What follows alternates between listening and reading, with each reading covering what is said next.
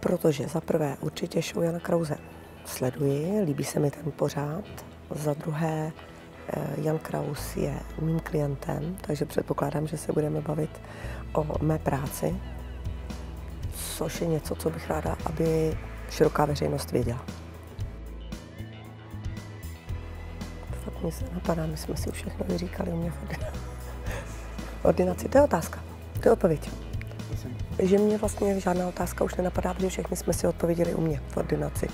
To odpověď.